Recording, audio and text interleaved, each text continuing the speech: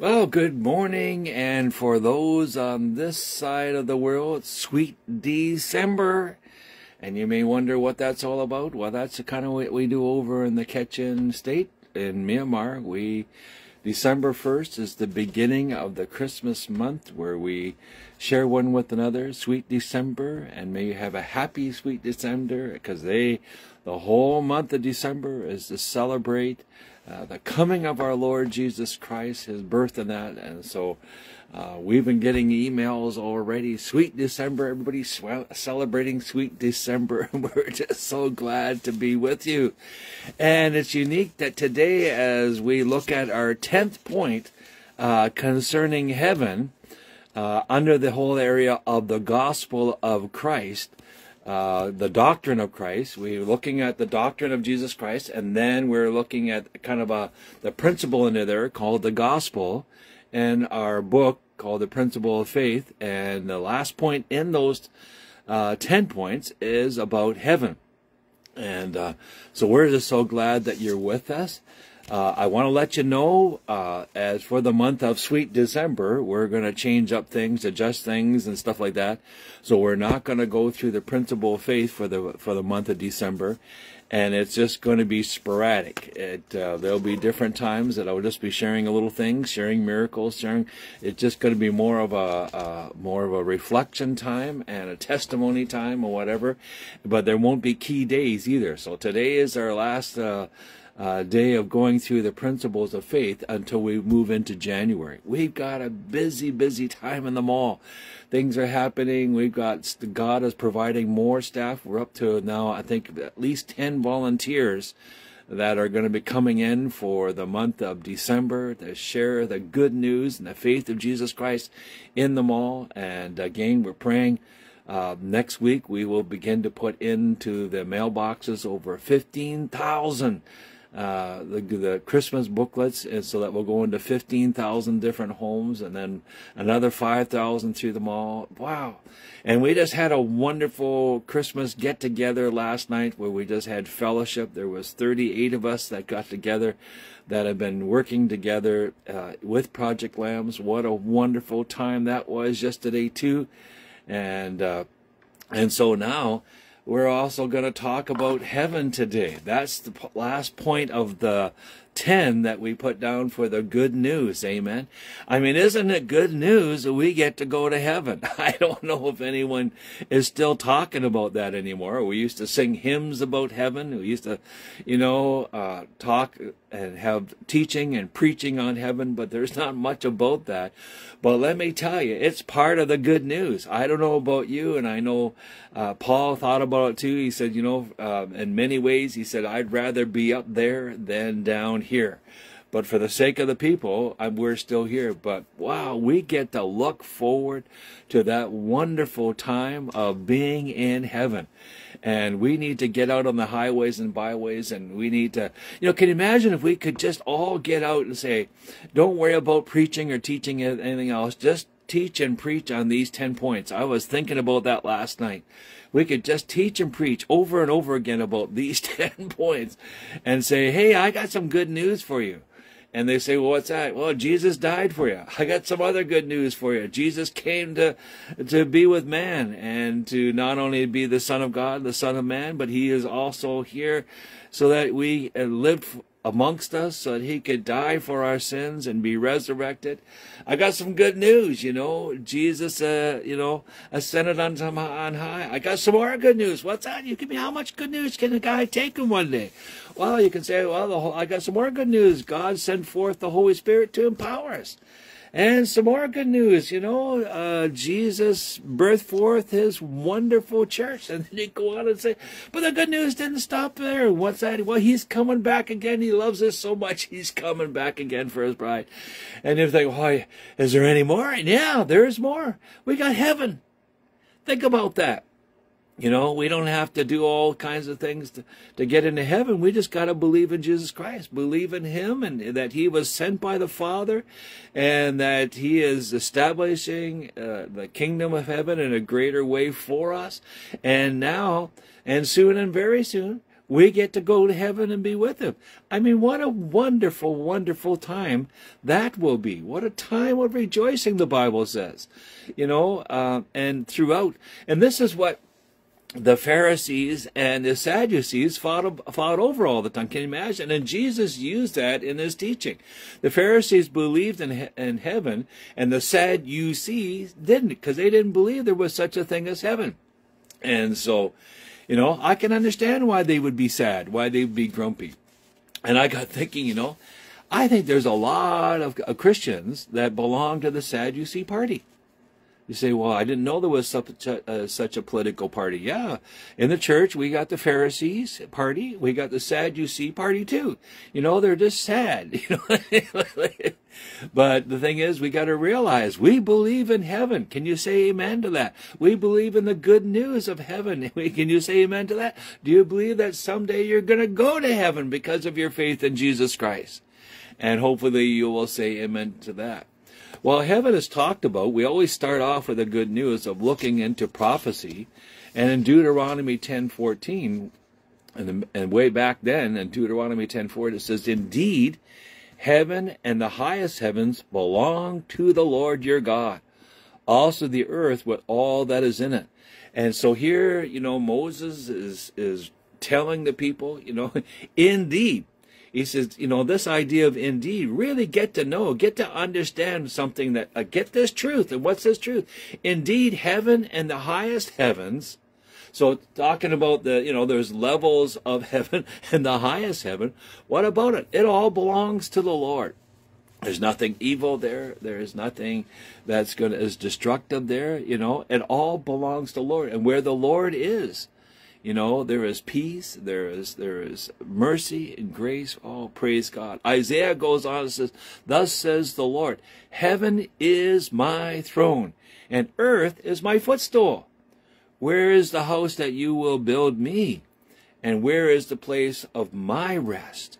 Again, a prophetic word that's given forth in a question where it says, you know, thus, thus says the Lord. The Lord says this through the Isaiah, through the prophet, where he says, heaven is my throne. You know, I don't know if you've ever got a chance to see a throne room or not, or ever understand about the whole area of the throne room, but praise the Lord. You know, we need to understand that, that the Lord has a throne room. You know, praise God. I, uh, just saw Bobby Mitchell show up. Good to see you. We're keeping you in prayer, Bobby. Keep on keeping on for Jesus.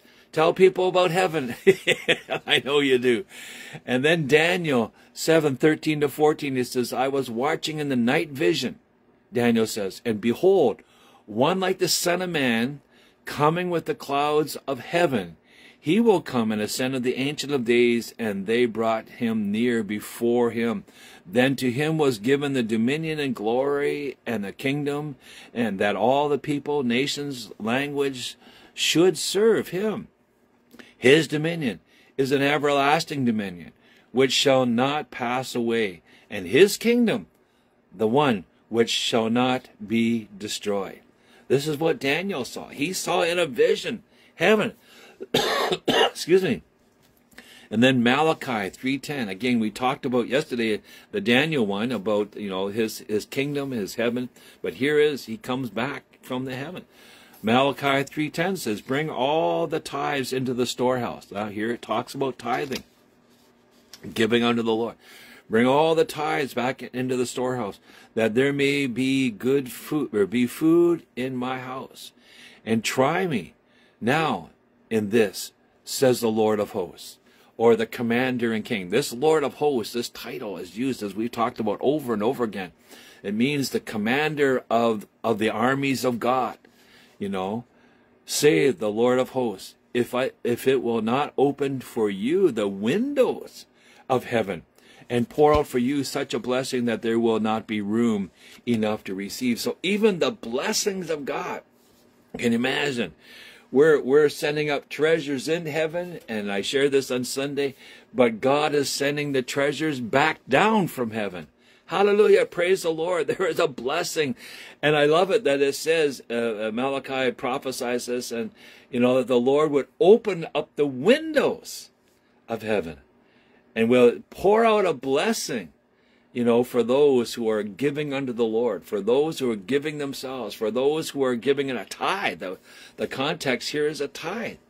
You know, a portion of that God has given to us, you know, we're giving back to the Lord. And the Lord says, don't you know that when you do that, it's a, it's sad when people don't tithe and, and, and give of, of what they have been given by the Lord. It's sad that they don't, you know, invest it in heaven. You know, people will say, well, you don't know how poor I am. And, but I've been to poor countries. I've been to places that, you know, it might just be a widow's mite that they put in. But Jesus said, you know, that one, that one lady put in more today than all the rest of you. But we need to be putting in. We need to be investing in treasures. We need to be taking that which we have, that tithe and offering and giving it unto the Lord because God's going to take that, and isn't it interesting? He's going to take that where the windows of heaven will be opened up and a blessing will pour forth. Oh, I could tell you of so many blessings, you know, as we've gone and planted these, or beginning to plant these Christmas seeds and to plant the gospel of hope and then the plant the one on discipleship. God is opening up the windows of heaven. Praise God for that. And that's what we need to be doing and, and, and investing and, and planting. These are seeds, you know, this tithe is a seed. But other things that we do are seeds. What we do physically are seeds. You know, what we, how we serve one another is seeds. And out of that, God wants to send forth a blessing. And where is it coming from? From heaven. God Himself that wants to cheer us on and say, "Hey, well done. See that? That's my child. Praise the Lord for what's going on there." But then we go into Matthew chapter 3, verse 2. And you should know, eh, if you got time, and you should take time, Matthew is, he's really been led by the Holy Spirit to say, you know, and to teach about the kingdom of heaven. Oh, you know, I, I wish we would have a number of days. And I mean, we'll get back to it somewhere along the line when we talk about heaven because we it's uh, one of our theological sections in the principles of faith is that we need to understand more about heaven You know, we talk about all the things that the devil's going to do in the end times, but we don't talk about the, the greatest good news in the end times. You know, people walk up to me and they and they and they say, you know, they talk about the end times and all the events of the end times, and I like to stop them. I I don't. I try to be generous, but I like to stop them and say, you know, one of the greatest things that we should be talking about concerning the end time is not all what the devil's going to do and all what the beast is going to do. We should be talking about hey, we get to go to heaven. We have some good news here. What's that? You know what all what's going on? There's soon and very soon we're going to be in heaven. And Matthew 3, you know, Matthew, he was, uh, you know, the tax collector, the guy that comes to know Jesus. God puts it upon him to use that idea of the kingdom of heaven, you know, over and over again and the eternal, eternalness, if there's such a word of the kingdom of heaven. And Matthew 3, 2 says, and saying, repent for the kingdom of heaven is at hand. Get things right. If you don't know Jesus Christ today, the, the Word of God, Jesus exhorts you in the Word of God, repent, for the kingdom of heaven is at hand. And that means that we're going to be close. We're, we're very close to coming to the place of being with our Lord Jesus Christ for all eternity. Luke 15, 7 says, I say to you that likewise there will be more joy in heaven over sinners who repent than over 99 just uh, persons who need no repentance. you know, it talks about the one it talks about, just as in Matthew, it talks about the repent for the kingdom of heaven is at hand. Come on now, we need to repent. We need to get things right. Why? Because that causes great rejoicing in heaven. Great rejoicing when people give their lives to Jesus Christ. When they come to Christ and give their life to Him, there is great uh, rejoicing. Then in Acts 7:49 says, "Heaven again." He says here, it's like in Isaiah, Heaven is here, is my throne, and earth is my footstool. Footstool.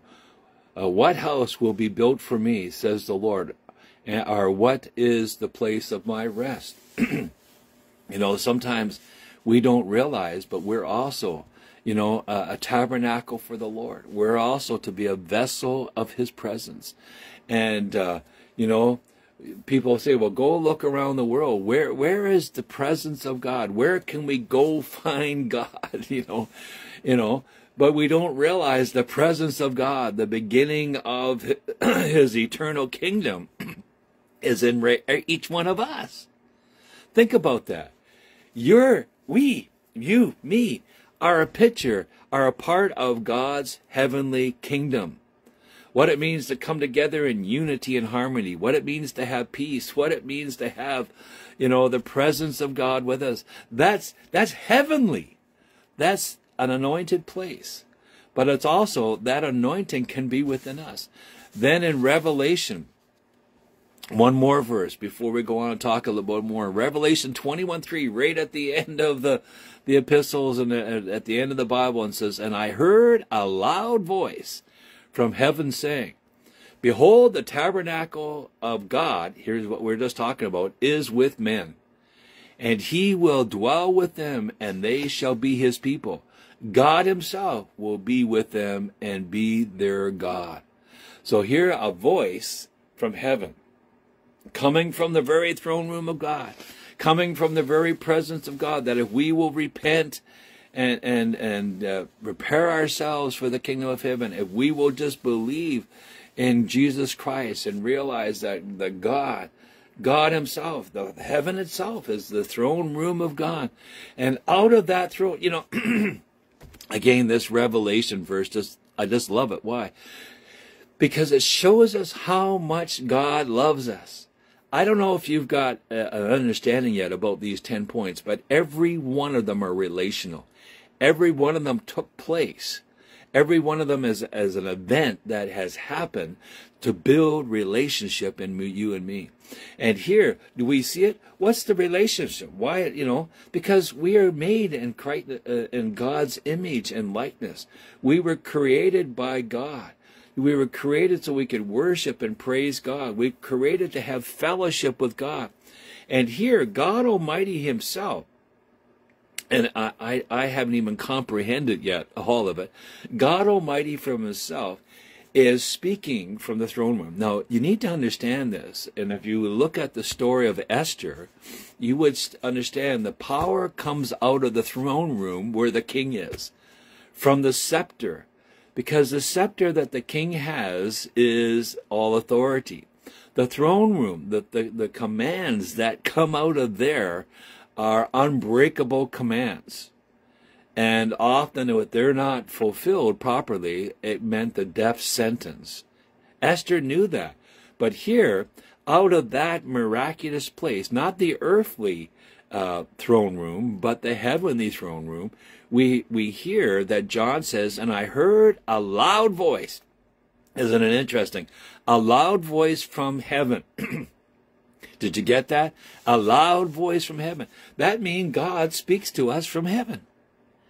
Isn't that a wonderful thing? Think about that. God is speaking, and He's speaking to us from heaven. And here, uh, John says, and there was a loud voice in a particular, in the moment of time, uh, that God, and that's uh, maybe that's why we've called this Christmas book, in the fullness of time. In the fullness of time, a loud voice comes from heaven saying, Behold. And the idea of behold means to look at this. Look at it. You know, take time to look at it. And what are we to look at? He says the tabernacle of God is with man. The presence of God. Jesus Christ, the Son of God, and then also the Son of Man is with us. And isn't it interesting that in, in the Christmas time, one of the names of Jesus Christ is Emmanuel. And what does that mean? God with us. and here, John 21 3 says, Behold, the tabernacle God is with us, and he will dwell with them. Hallelujah. I thank God that he at age 17, he came into my life and he dwells within my life. He's changed me from the inside out. He'll change you from the inside out. He comes and dwells with you and empowers you. And this voice from heaven is trying to get us to realize that. The voice from heaven, God Almighty Himself, says the tabernacle of God is with men, and He will dwell with them, and they shall be His people. Oh, I thank God I'm a child of God. Do you thank God that you're a child of God? God Himself will be with them and be their God. Think about that. Just think about that right now. You know, we don't have to drag down God from heaven. A voice from heaven has already said, God's with you. Invite Him into your life. God wants to fill you. Invite Him into your life. God wants to cleanse you. Repent of your sins. I mean, it's just an amazing when you think about what, what God is, what He's shouting. He's shouting a voice from heaven. Come on now, people. The tabernacle God is with you. You know, He has come and dwelt amongst us. That's why when we sing that song, Emmanuel, you know, God is with us. And that's what God is confirming here through the Apostle John in the book of Revelation. And we need to get that. So when Jesus began to talk to the disciples in John chapter 14, and he said, you know, disciples, don't worry, because he was telling them, I'm going to leave soon. We talked about that on Wednesday. I'm going to leave soon. And they were starting to get nervous. They were starting to get worried. But he goes and in John 14, verses 1 to 3, he says, I'm going to be leaving soon, but I'm going to prepare a place for you. And then he tells them how, how he's going to come back.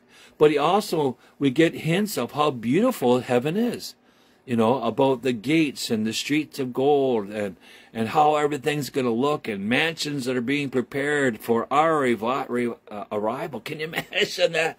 Those of you watching and are believing, believing this morning, God is preparing for you. And it isn't going to be some little one room apartment there are going to be mansions on the streets of gold. And said, well, how, how, how big is this kingdom of heaven? It's big. it's big. You know, it's going to contain all of us. We're going to walk on streets of gold. We're going to have mansions. We're going to be in the very presence. We're going to celebrate and, and, and, and feast together with our Lord. Can you, that, isn't that good news? You know, isn't that something to get where, you know, for the very first time, we're going to see Jesus face to face? You know, why don't we tell these things to people? Why don't we sit in the coffee shop today and say, can I tell you something? What's that? There's a real burden in my heart. What's, what do you want to say, Jim? I just want to talk to you about heaven. Oh, they'll say, "Oh, you you're one of those Bible thumpers." I don't want to be a Bible thumper. I just want to tell you where I'm looking forward to going, where I can't wait to get there. Amen. And you know, but the question on people's mind is, do they believe? Are we a Pharisee or a Sadducee or are we a believer in Jesus Christ? You know, how these groups fought over legalistically. They were trying to fight over us, you know. It reminds me of scientists all the time and, and science. Science is trying to prove. I remember the, the first Apollo flight and everything. People were nervous because when they went up to the moon, would they enter into the kingdom of heaven? Would they be, you know, and one of the persons said, well, we saw no God up there because we were in the heavens. Yeah, well, you were in the space, but you weren't in the heavens. You weren't in the throne room of God you know, but they were trying to mock God. See, we got on a spaceship and we went up there and there was no God. Oh, God, have mercy on us for our foolishness, where we think we are wise, but in many ways we're very, very foolish. To think of those kinds of physical things. This is a miraculous, a, a, a beautiful place where the God's presence there. And he and Jesus used this often to tell and to encourage people often, you know, and, and they tried to use this doctrine about heaven, you know, uh, to try to trip Jesus up. And then they tried to use this doctrine about, see, he's like God. He's saying he's God. He's saying he has the kingdom. You know, let's put him to death because he's proclaiming to be the Son of God and he has a kingdom. Well, I mean, the the laugh, la- the last laugh is not for the Pharisees, the Sadducees, and the high priest the last smile and the sadness smile, I guess you could be say, is that there is a heaven. And we need to be out there telling people about it. Come on now. Imagine if we could just go walking around in the mall and have a black card on us and say, I believe in heaven. I'm believing soon and very soon our King is coming back from heaven. I believe soon and very soon we're going to be in heaven. Those of us who believe in Jesus Christ. And that's what I think the Holy Spirit was trying to say, Matt, get Matthew to tell us over and over again about the kingdom of heaven. But the disciples, they didn't kind of get this. They were, you know, okay, we, we like it better, Lord, when you are walking with us physically, they were thinking. We like that. And then we like it better if we could just really understand, like, is there a train or is there an, you know, of course they didn't have airplanes back then. What is the way? Remember uh, Thomas, uh, how do we get to heaven? Jesus said, I'll, I'll tell you, it's very simple. What's that? Thomas said to Jesus. Just believe that I am the way, I am the truth, and I am the life. This is that verse that we quote over and over again that so many people know John 14, 6 is in response to the question of the disciples of how do we get to heaven? Come on now, those of you who are listening around the world, do you want to know how to get to heaven? Believe that Jesus is the way. He's going to show us the way. Believe that Jesus is the truth. He has spoken the truth about heaven and that Jesus is the life where he is going to show that through his death and resurrection, he is going to lead us. He's going to come back and get us and lead us into the glorious kingdom, lead us into the presence of his heaven. But we need to understand that Jesus did that as our Redeemer, as our deliverer and he is seated at the right hand of the Father, now interceding on behalf of us, getting things ready. And as there will be a time that all will be called up into heaven, where the judgment seat of God is, where the Lamb's book of life in Revelation 21, 27 says will be opened up. And there will be a time that will be determined whether we can, you know, we're called up into the heavenlies, but there will be a time determined whether we will have, be able to go into heaven. A big difference. You know, and Revelation 3:10 talked about the turmoils and the battles, the things that were going on. Even Paul himself when he talked about putting on the full armor of God. You know, we fight not against principalities and powers, things here on earth, but there is a warring in heaven that's taking place, the final war against Satan and the and the beast and all that, you know, is over the heavenly kingdom, but our God reigns. Jesus reigns. The archangels will have victory over Satan and all his hosts. What a wonderful time that's going to be. And there's going to be a time with all eternity. And so God is saying to us, hey, get ready. Get ready because right now we're in captivity as it were, as it were. We're in captivity to this old body. We're in captivity to the limitation of our mind. But soon we're going to be set free because the, the Son of Righteousness is going to come amongst us. The, the deliverer and the redeemer is, is not only going to be in us through faith in Jesus Christ, but also we will be seeing him face to face in his presence. Oh, if you could just have time to study about heaven. There is so many scriptures. But Satan himself wants to try to deceive us. And we need to understand as disciple, there is a real heaven. And there is a real goal. And that's to take us there. There is a real purpose, is that we proclaim and ask and tell others about the kingdom of heaven. And that, you know, that our flesh and blood, you know, are able to overcome, not and because of who we are, but because of who he is you know, and, and it is a place where we will stand before the Lord and, and be judged, yes, but there's a place where we will then sit down. You know, so often we're, we're we are concerned about judgment, and we should be concerned about judgment. But that's again, you know, that's part of what's taking place. That's part of the journey. But the end good news is that we get to sit down at the marriage supper of the Lamb. You know, I in this gospel booklet, uh, the last chapter in here, I had the artist draw. I don't know if you can see this last picture here that is in the Good News book, and people are beginning to enter in. But what is what is inside there? It's the marriage supper of the Lamb. It's you know, uh, I don't know if you've ever been to any kind of wonderful banquet, but this is going to be a banquet upon above all banquets. It's going to be a time when we gather together. We may even be eating our plates of gold. We may even have forks, spoons, and knives. Or if you don't believe in forks, spoons, and knives, okay, Cohen, maybe gold chopsticks. I don't know, you know what we're all going to be eating and how we're going to be eating, but it's going to be wonderful. It's going to be wonderful. The presence of God is going to be there. There's going to be great rejoicing. The fullness of God's presence is going to be in the kingdom of heaven. You know, the, the marriage supper of the Lamb, you know, heaven there is going to be no more sickness, no more death, no more being an invalid or whatever it may be. It's over. And I don't know why we don't get out and talk about that. And, you know, oh, we always do it at funerals. Well, we'll talk about heaven and we'll try to preach people into heaven. But the thing is, I think we need to, the biggest testimony that, that God has is us, that He is in us, He's empowering us, He's filling us, so we can get out there with the good news of Jesus Christ. And one of the points, the, the last point of the good news of Jesus Christ, that we are going to be with Him in heaven for all eternity. And Satan wants to try to stop that. He wants to try to get us to believe in his lies. He wants us to try to get to the place, oh, we're not going to believe in what God has us. But the Bible is a book that preaches clearly about heaven, about the kingdom of heaven. And we got to believe no matter what the voice is. People will say, well, you know, you're just going to die.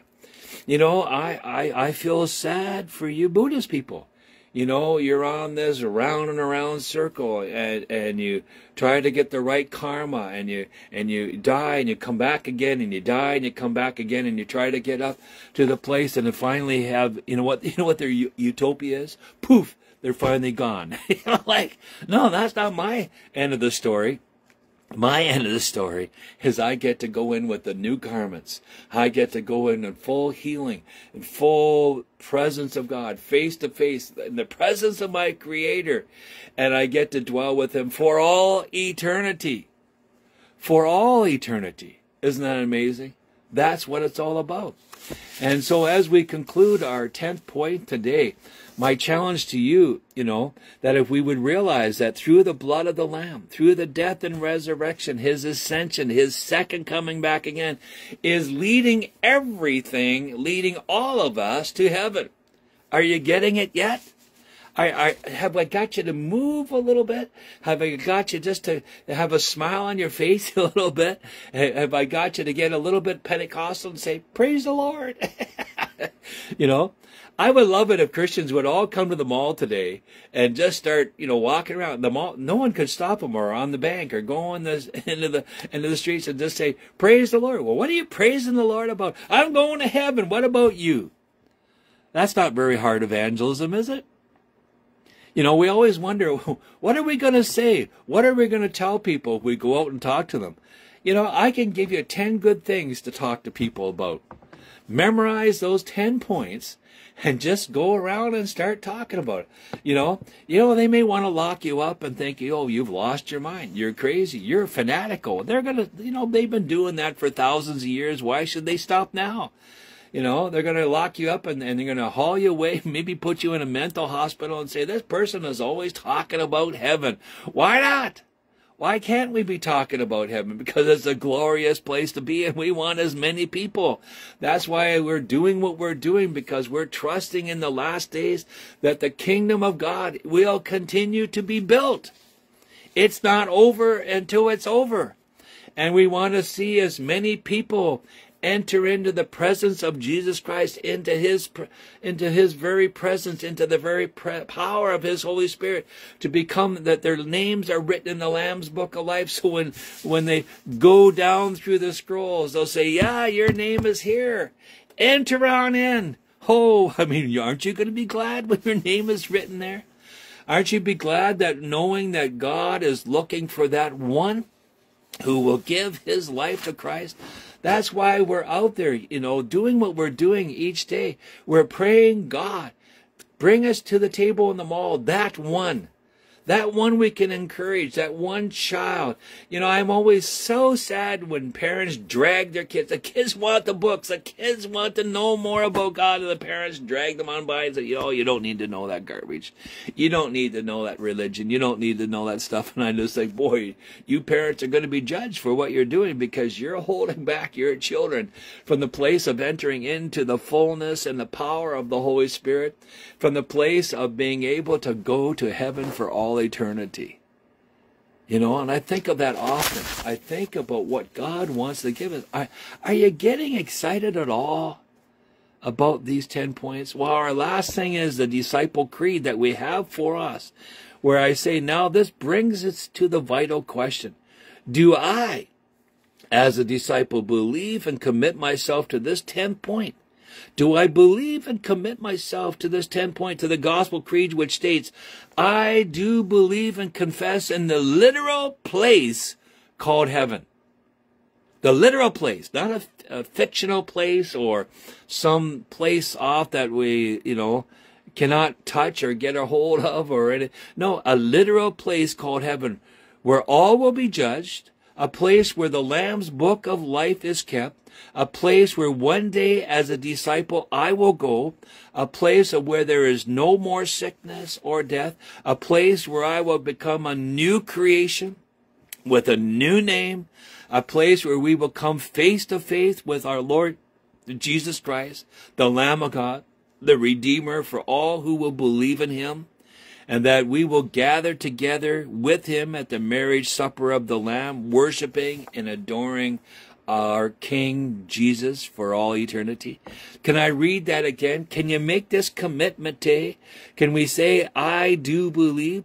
Where we start off, I do believe and confess in a literal place called heaven, where all will be judged, a place where the Lamb's book of life is kept, a place where one day as a disciple I will go. Praise God, I'm looking forward to that a place where there is no more sickness and no more death.